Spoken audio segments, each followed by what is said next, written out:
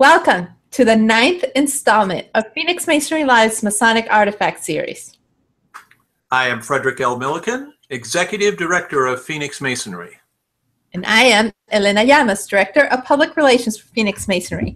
And today we're going to show you this commemorative plate for the White Shrine of Jerusalem.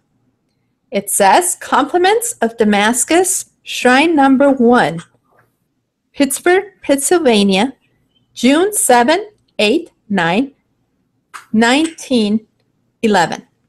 You can see it has two crosses, one at the top, one inside the shrine, with the shepherd's crook.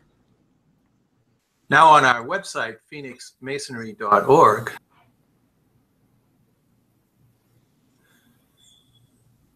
we have a white shrine of Jerusalem jewel. You will notice that on this jewel, in the center, as you're looking at it, scrolling down, we have the cross with the shepherd's crook. This, the white shrine calls the Passion Cross. The Order of the White Shrine of Jerusalem was founded by Charles D. Magee at Chicago, Illinois in 1894. The order comprises both men and women who must be members in good standing of the Order of the Eastern Star. The White Shrine is not recognized, however, as a branch of the Order of the Eastern Star. The Latin motto of the White Shrine of Jerusalem is In hoc signo spes mea, which share similarities with both the 32nd degree of the Scottish Rite of Freemasonry's Latin motto and the motto of the Masonic Knights Templars.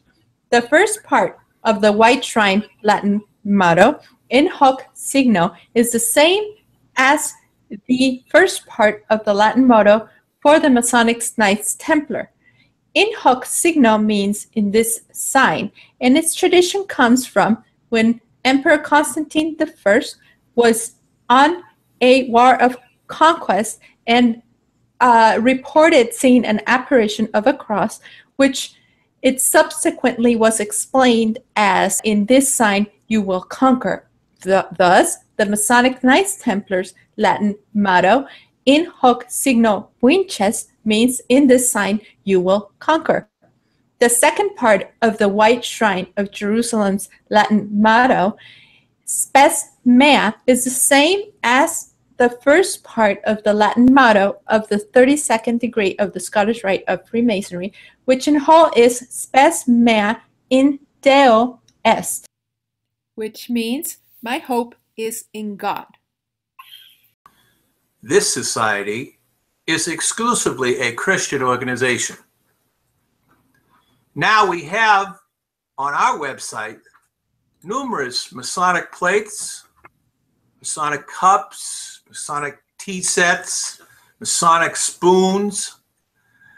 So if you would like to see more, please visit phoenixmasonry.org and view this beautiful Masonic China. And thank you for joining us on this, our ninth installment of Phoenix Masonry Live's Masonic Artifact Series. In Latin, Vale.